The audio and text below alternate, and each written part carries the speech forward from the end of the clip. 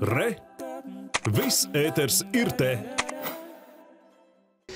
Otro lieldienu vakarā Rīgā arī atklāts kinofestivāls, kas ļauj paskatīties uz kino no kristīgā diskursa.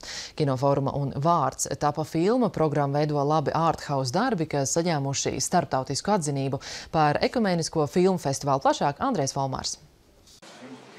Kinofórums un vārds tapa filma pie skatītājiem dodas jau 18. gadu. Tā programmā filmas, kas pauž spēcīgu kristīgo vēsti, kas atklājas cilvēku attieksmē vai izpausmēs evaņģēlija gaismā. Kinofórumu atklāja franču filma Jūdas stāsts, kas 65. starptautiskajā Berlīnas kinofestivālā pagājušajā gadā saņēmusi ekumeniskās žūrijas balvu. Pēc filmu seansiem notiks diskusijas, kuras ierosinās filmu garīgā un sociālā problemātika. Katrā ziņā tās būs sarunas par vērtībām. Ekumenisko filmu festivāls ritēs līdz svētdienai.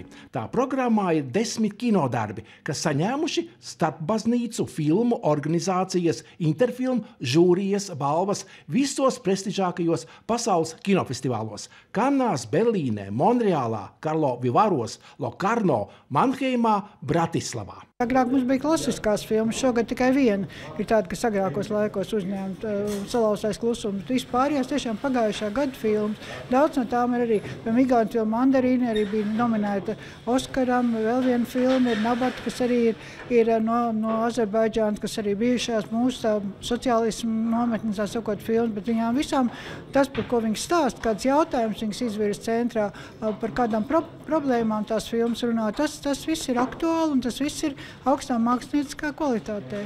Startautisko ekumenisko žūriju darbā piedalās arī Latvijas pārstāvji.